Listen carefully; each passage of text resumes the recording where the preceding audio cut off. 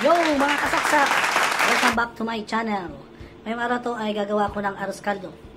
Namiss ko ang arroz caldo kaya gagawin ko siya ngayon. Iba-vlog ko siya, ipapakita ko sa inyo kung paano ko siya lulutuin at para magkaroon naman kayo ng tip kung gusto niyo magluto ng arroz caldo.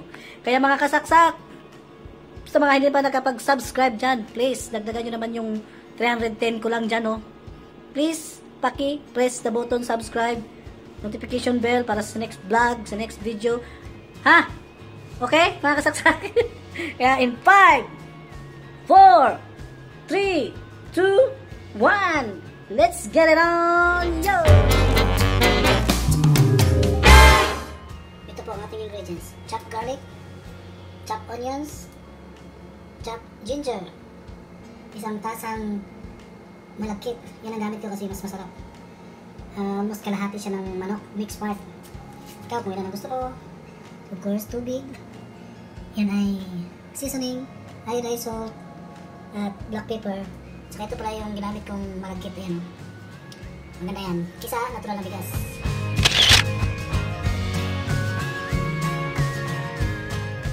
So, nipainit na tayo ng mantika.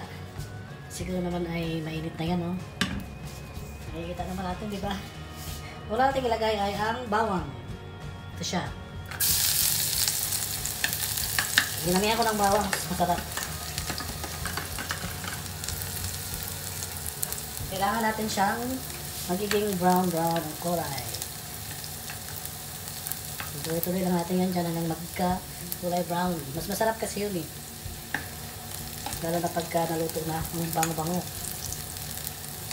Yan. Yan na natin siyang magiging kulay brown.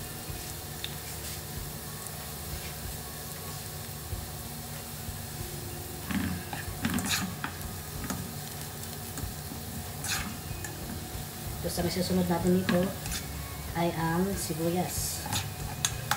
Yan, nagka-brown-brown na siya, no? Kita niyo? Yan, masarap yan pag ganyan nagkakulay. So natin ang sibuyas. At yan, maraming sibuyas din. Mas masarap pag maraming sibuyas. Mm, Umuusok-usok na. oh. Kaya muna natin siyang magiging kulay brown din ng konti. Bagyang kulay brown.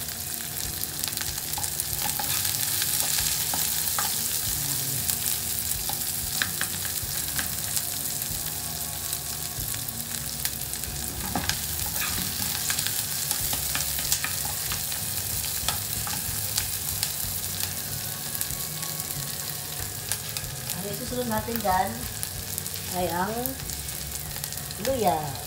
Maraming luya, mas masarap. Ito yung mas maganda ngayon nakapanahon dahil may pandemic tayo. Ang bawang at saka luya ay parang pang-prevent. Di ba? Sa virus na papasok sa katawan natin. So, ito na yung ito na yung ah, luya. Luya pa mo. Ayan. Yan ang aming mas masarap. Mas masarap ito. Kaso lang ang lutuan yung maliit. Nakataw yung ano nito. Eh, Okay lang. Kalimutan ko palang bumili ng itlog. Para isabay sana. The next is ang chicken na. Ayan. So nahalo na siya. Ang chicken na natin ilagay. Ayan. Ganyan. Ayan. Okay. Tapos, haluin natin siya. Ang bangang bongga. Ayan. Igigisa natin siya. Okay. Ayan na natin sa ilang minuto.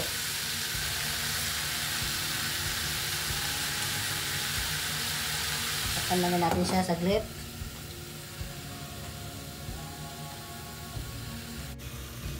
So, yan na. Ito na. Halo natin, pagkahalo. Ilagay na natin ang malagkit. Yan, pag nakita nyo.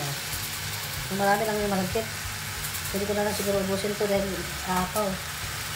Tama na muna yan. Tapos halo-halo-haloin siya, ganyan. Yun ang pagluto ng arroz caldo. Ingat sila. Parang kunti. Pwede pa yata may ubos. Wala. Ikalat, sayang.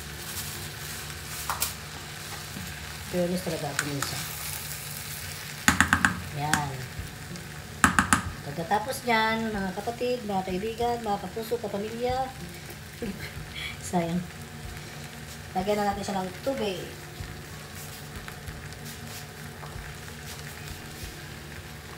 Ito.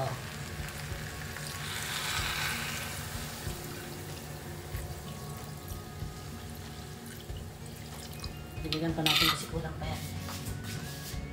Sure tayo.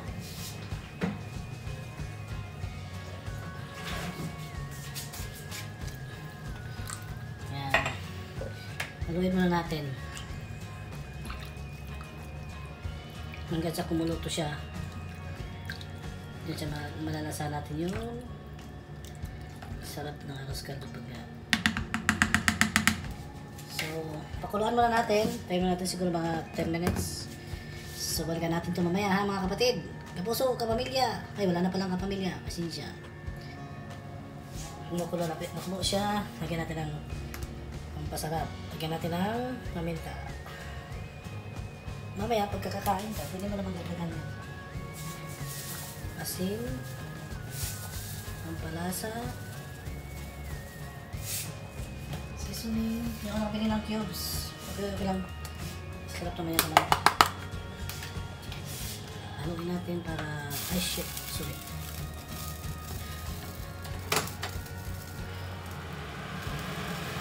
Lalo ko yung ano, exhaust kasi baka mag-alarm. mga kasaksak. Ito na po yung ano natin, oh, arroz caldo. Yan. Pinapaluto pa lang ng yung ano yung manok. At yung malaki. May may kasap na yan. So, excited na akong kumain ito. Sabayan niyo ako mamaya, ha? Hey! Kirap, kirap! Hello mga kasaksak, luto na po ang ating arroz caldo. Kaya tikman na natin siya, no? Ano pang inaantay natin? Let's get it on, ah. let's get it on. Ayan po siya, oh.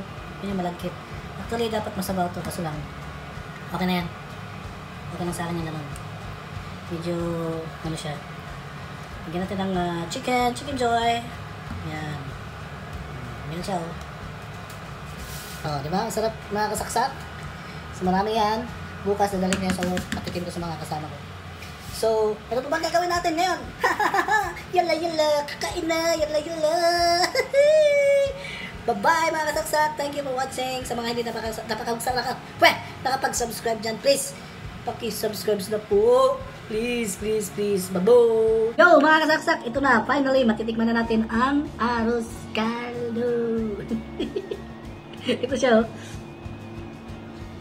Mmm. Fairness, ang sarap. Siyempre ako nagluto eh.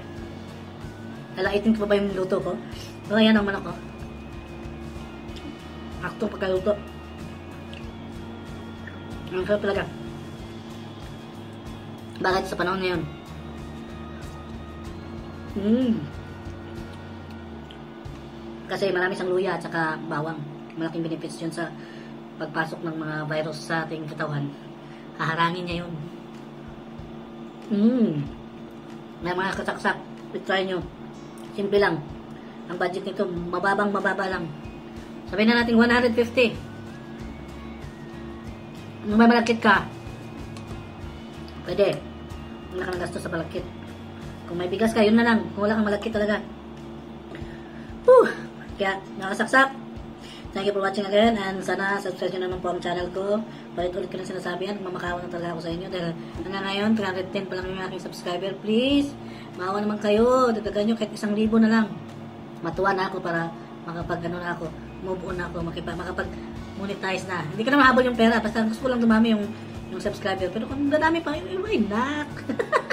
Kaya mga kasaksak, babush, sana isubscribe niyo ako, panoorin niyo ako, at yun na, babay na, babay na, kakain na, babay na, babay na talaga.